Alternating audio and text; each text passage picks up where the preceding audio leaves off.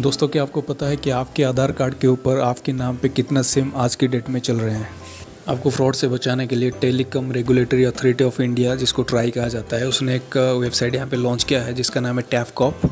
आप इसके अंदर लॉगिन करने के बाद आपको ये पता चल जाएगा कि करेंटली आपके नाम पे कितने सिम चल रहे हैं, और अगर आपको कोई सिम इसमें रिक्वायर्ड है, नहीं है, आप वहाँ से रिपोर्ट कर सकते हो, और वहाँ पे पूरा एक्शन हो जाता है दोस्तों। तो चलिए देखते हैं आप अपने सिंपली गूगल पे आप टैपकॉप टाइप कर लीजिए। और सबसे पहला जो ऑप्शन है टैप ऑफ़ कंज्यूमर पोर्टल का, उस पर आप लॉगिन कर लीजिए, क्लिक कर लीजिए, उसको ओपन कर लीजिए। देखिए दोस्तों, यहाँ पे इसका होम पेज ओपन हो चुका है। यहाँ पे आपको सिंपली आपका मोबाइल नंबर एंटर करना पड़ेगा और उस पर एक ओटीपी जाएगा।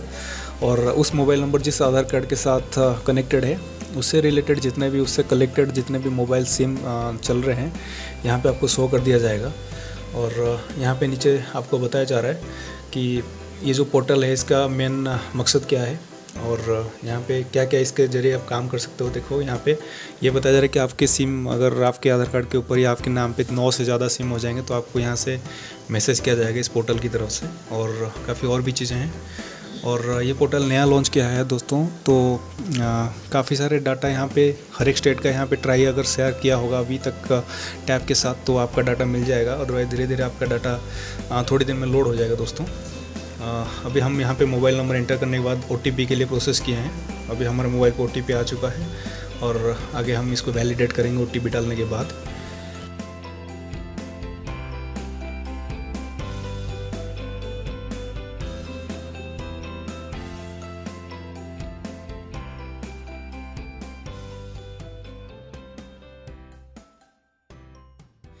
देखिए दोस्तों, यहाँ पे हम जैसे ही ओटीपी डाल के वैलिडेट किए हैं, यहाँ पे हमें लिस्ट ऑफ़ मोबाइल नंबर्स इस आईडी पे क्या क्या चल रहे हैं यहाँ पे दिखाई देगा। और इस आईडी पे मेरा दो ही मोबाइल नंबर चल रहे हैं।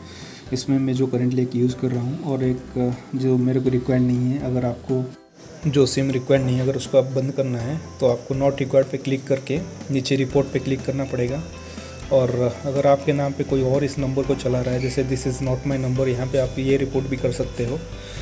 तो आपको जैसे चाहिए, जैसे मेरे को यहाँ पर ये सिम चाहिए नहीं, पहले से था लेकिन बंद हो चुका है तो यहाँ पे मैं नोट रिकॉर्ड करूँगा। यहाँ पे जिसके नाम पे सिम है, वो नाम डालना पड़ेगा तभी जाके ये आगे प्रोसेस होगा। और आप जैसे रिपोर्ट पे क्लिक करोगे तो आपको एक रेफरेंस नंबर यहाँ पे दे दिया जाएगा, जिससे हम फ्यूचर में इस रेफरेंस की मदद से ट्रैक करेंगे कि हमारा जो रिक्वेस्ट था पेंडिंग है या प्रोसेस हो चुका है।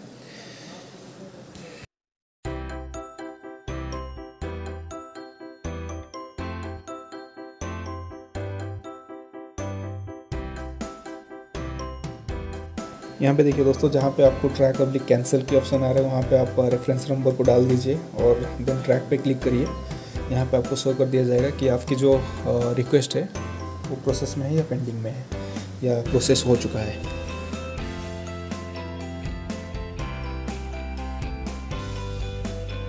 तो इसको यूज़ करते हुए अगर आपके नाम पे कोई फ्रॉड मोबाइल नंबर यूज़ हो रहा है तो उसको आप रोक सकते हो, बंद कर सकते हो। ये एक बहुत बड़ा अच्छा डिसीज़न है ट्राई की तरफ़ से।